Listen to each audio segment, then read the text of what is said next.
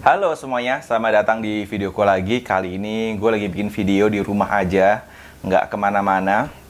Kali ini gue nggak sendirian, gue ditemenin sama Catur siapa? Wahyu Wardana. Nah dia adalah orang yang biasanya di belakang layar video-video gue. Nah kali ini gue pengen ngebahas sesuatu yang lagi panas banget dan lagi happening banget yang ada di Indonesia. Bukan tentang fashion, bukan tentang rumah atau apartemen atau apa pun itu, tapi adalah lagi bencana virus corona.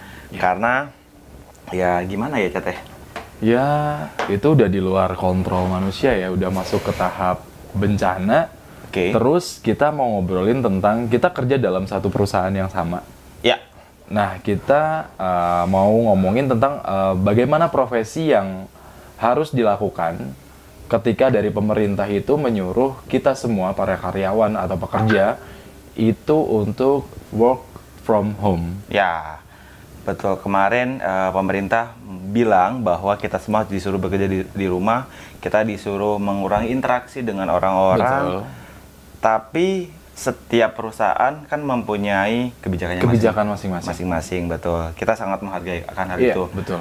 Kegelisahanku sebenarnya adalah efektif atau enggak sih Makanya. eh, bekerja dari rumah. Yang kedua, nggak semua orang itu bisa bekerja dari rumah. Betul. Dan lebih parahnya lagi, gue gue kebayang sih kalau nanti Indonesia sampai benar-benar chaos banget, itu nanti gimana?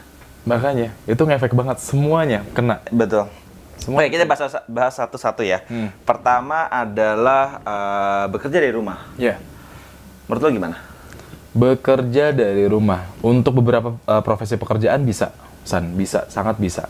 Cuma untuk uh, pekerjaan yang memang tidak bisa dikerjakan di rumah, kita banyak lah yang kerjanya di lapangan. Betul. Contoh kita lah. Contoh oh kita. ya, divisi kita adalah divisi sales yang setiap hari kita bertemu dengan klien, setiap hari kita ketemu dengan orang-orang baru, Betul. kita nggak tahu dia siapa, kita nggak tahu dia abis dari mana, kita nggak tahu. Kita nggak tahu. dan kita tetap harus bekerja karena Iya. pekerjaan kita tidak bisa di depan komputer kita dari rumah kita nggak bisa Nggak bisa. kita Bisa pun setengah-setengah sih sebenarnya, San.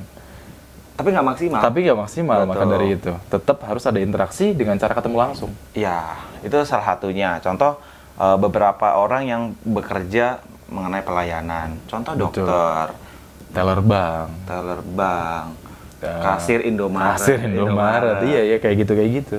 nah gue khawatir sih sebenarnya sedampaknya itu nanti bisa sebesar apa kalau nanti Indonesia se apa namanya segede Cina kasusnya segede Italia di mungkin Itali. Apalagi eh, kita mengingat eh, Indonesia untuk penanganannya mungkin masih kurang daripada yang sana-sana. betul menurutku sih masih agak eh, apa ya agak kurang bener sih Iya. gitu Terus mungkin juga ada beberapa orang yang masih nganggapnya sepele sepele. itu, Ah, itu fatal banget ah, ada beberapa orang yang memang kita nggak bisa nyalahin orang itu sih sebenarnya. Soalnya kan ah, ada beberapa memang SDM orang yang kerjanya di lingkup kita bi- bisa bilang menengah ke bawah oke itu pasti edukasinya kurang tentang adanya virus ini. mereka nggak takut Mereka nggak takut sama sekali. Ada beberapa kali gue ngeliat video, dia ditanya tentang virus corona, nggak takut sama sekali.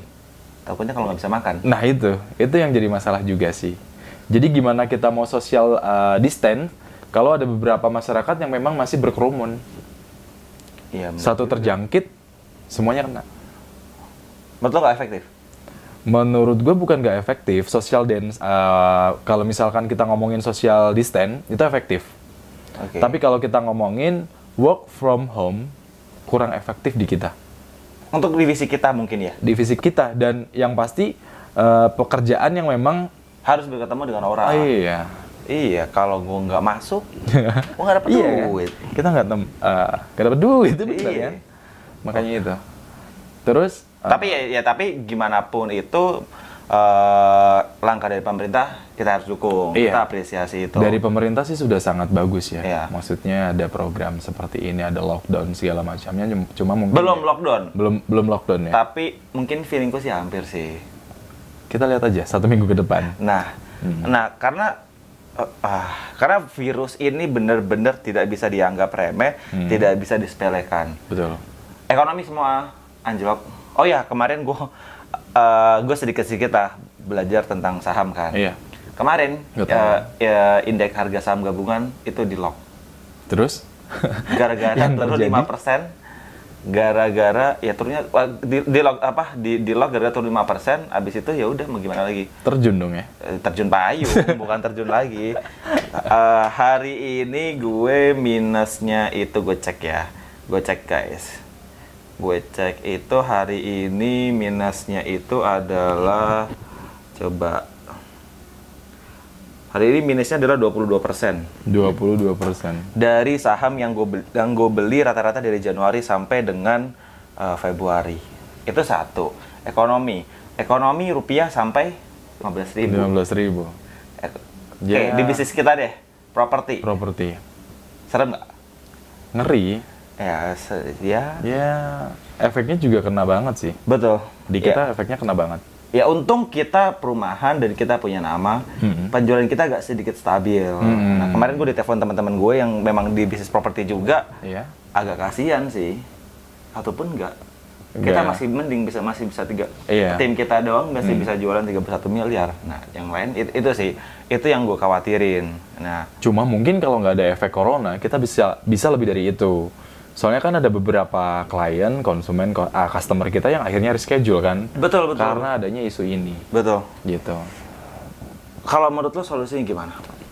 Solusi terbaik sih eh, bener eh, kita eh, social distance kerja yang misalkan eh, kerja bisa dilakukan di rumah bisa dikerjakan di rumah dulu.